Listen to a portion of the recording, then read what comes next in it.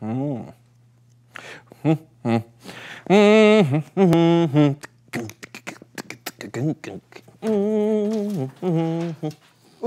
you made cookies. Oh yeah, I'm just trying out a few recipes for my Christmas Cookies for Dummies cookbook. Oh, nothing says Christmas like cookies.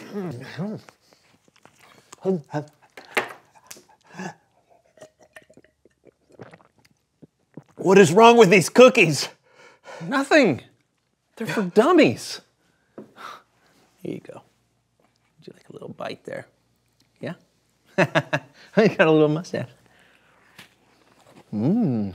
Mm-hmm.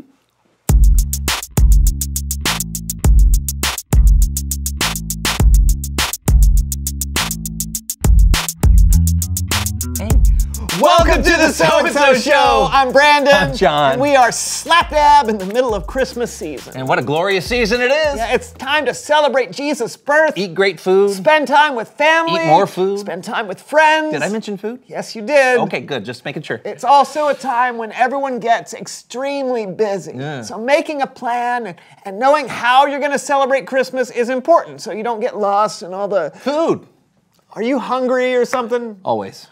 All right. During Christmas, you can get lost in everything that's going on and, and forget what's really important. Don't say it. Yeah, I wasn't gonna. I was thinking it though. Of course you were. So today, we have a special guest who knows all about making plans. Oh, I didn't know we were gonna have a guest. Okay, let me guess. Can I guess? I'm gonna guess. Okay, let me Yeah, guess. Can, can I guess? guess, sure. Okay, I'm gonna guess. Okay, guess. Give me a hint.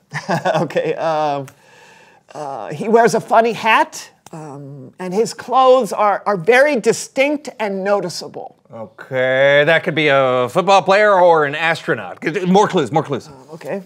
He has a little helper. He, uh, oh, he, he travels the entire globe for his job. Uh, astronaut still works. Okay, another clue. Another clue. All right, let's see. Uh, oh, he has a beard, uh, and, and his belly kind of shakes when he laughs, which is often. What? Man, I have no idea who you're. Wait a minute. Wait a minute. Okay, is is making plans kind of like making a list? I guess so, sure. Beard, belly that shakes when he laughs, hat and very distinct clothes. He travels the world, has a little helper, and makes a list. I think I figured it out, but there's just no way you could have. You you couldn't have. You couldn't have. I could. Well, well, what are we waiting for? Let's do this. All right, please welcome someone who knows stuff. Merry Christmas!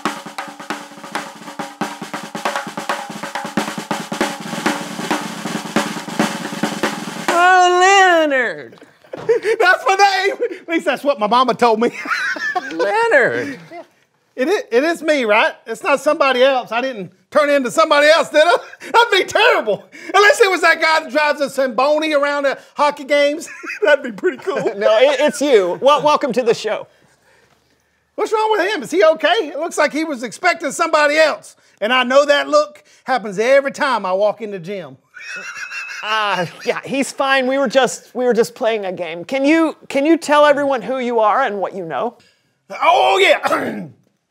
I am Leonard Fortescue and I am a professional metal detectorist. I travel the world using my little friend Camilla here to find anything that was lost. That can go from treasure to somebody's dentures and anything in between. I even found a wig once. Even though that was an accident, I thought it was a squirrel. Hey, so Camilla is your little helper? Yeah, yeah, I couldn't do it without her. I mean, I guess I could like wave my hands over the ground and like make beeping sounds, like beep, beep, beep, beep, beep, beep. But uh, that wouldn't do much good, would it? So uh, you told me that you were good at making plans. oh yeah, yeah, you gotta be. Well, You know, when you're a professional metal detectorist, as I am, you, you gotta keep up with the ocean's tides. You gotta file permits and obtain permissions because if you don't, you either end up all wet or bit by a dog. and neither is a good way to start the morning. I'll tell you that. no, I, I wouldn't think it was. And you know, and Christmas is the worst time to be feeling overwhelmed because everyone is going in more directions than a 10 legged man at a tap dancing convention. Which reminds me, I, I got you both gifts. Oh, Yeah, yeah, here you go. That's for you. Yep, and this one is yours. All right, thank you. So you didn't have to do that. Oh, I know, but I did it anyway. Go ahead and open them up. Oh, they're planners. Yeah, I, I know they're a bit retro, but I, I find when you actually write things down and know that there is a plan, when things go sideways, and they will, it tends to make things not be so hectic. You can almost uh, have a peace about it. My, mine's already filled in. Oh, oh, yeah, actually, Camilla found yours on a beach. It's from 1967, and it belonged to a guy named Robert Inglewood. So you can either do two things. You can erase it all, or just do what he did, which is what I suggest, because he did a bunch of fun stuff. Look at here. In July, he actually went skydiving. The calendar becomes empty after that, so you can just do whatever you want to do. well, I guess I got to get going. I got a lot more presents to deliver. Oh. So I'll see you guys on the flop side. Oh, Merry Christmas to all and to all. See you later. Let's see ya, Leonard. Does Leonard remind you of someone? No. Why? I just, cause, uh, y- y- Never mind. It's Bible story time.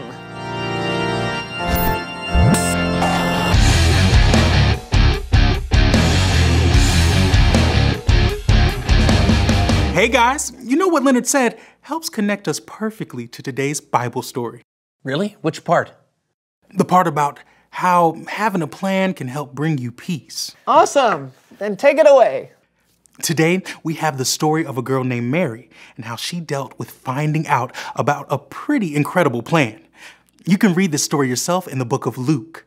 But hundreds and hundreds of years before Luke, God chose one family, the Israelites, and promised to bless the whole world through them. Time after time, the Israelites turned away from God, but God still had a plan to send a Savior, which is where our story picks up.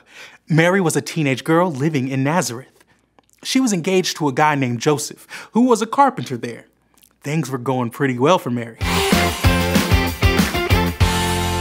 But her happiness was about to be put to the test because God had a message especially for Mary, and God sent that message through an angel. The angel's name was Gabriel, and his appearance obviously took Mary a little bit by surprise. But Gabriel told her not to be afraid. No, no, no. Gabriel said, God is very pleased with you. You will become pregnant and give birth to a son. You must call him Jesus. He will be great and will be called the Son of the Most High God. When Mary heard that, you'd probably expect she'd be like, What? and maybe she was. But the angel told her a little of God's plan. He said, The Holy Spirit will come to you. The power of the Most High God will cover you. So the Holy One that is born will be called the Son of God. I know, mind blowing. Then Gabriel told Mary about one of her relatives, Elizabeth, and how God promised to give her a child even though she seemed too old. But Elizabeth was pregnant because what God says will always come true. So Mary said, I serve the Lord. May it happen to me just as you said it would. It's like she took a deep breath and decided to trust God and dive in. After that, Mary took off to visit her relative, Elizabeth. And when Mary got to Elizabeth's home, the baby inside of Elizabeth jumped at the sound of Mary's voice.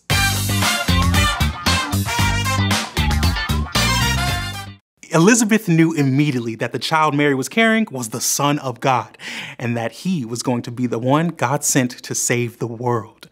Mary knew it too, because she said, He has done it just as he promised to our people of long ago. Now, that's a plan worth celebrating.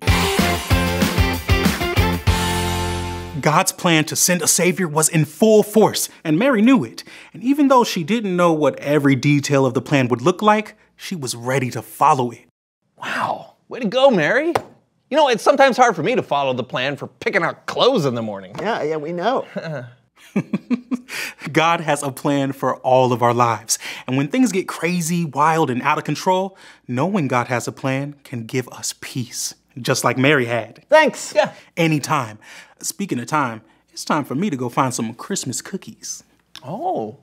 Oh, stay away from the dummy cookies. I think it's time for us to reveal the question. What are your plans this Christmas? Hmm. Do you have any yet? Oh, yeah, our family has several Christmas traditions that we plan for every year. We decorate the tree together, my father gets uh, electrocuted every year, and we always read the Christmas story on Christmas Eve, which is one of my favorite parts of Christmas. What about you? Uh, well, we always go to see one of those, um, uh, the living nativities. Oh, yeah. You know, where they act out the Christmas story Yeah. Uh-huh. live, like with real animals.